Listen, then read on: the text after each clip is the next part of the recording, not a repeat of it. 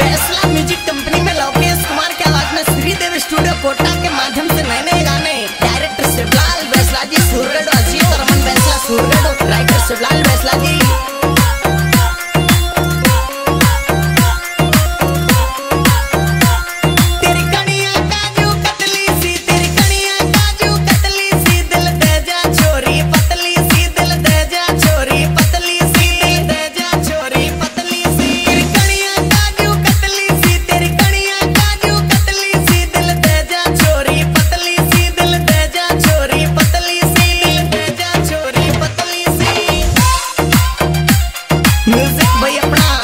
Yes, the break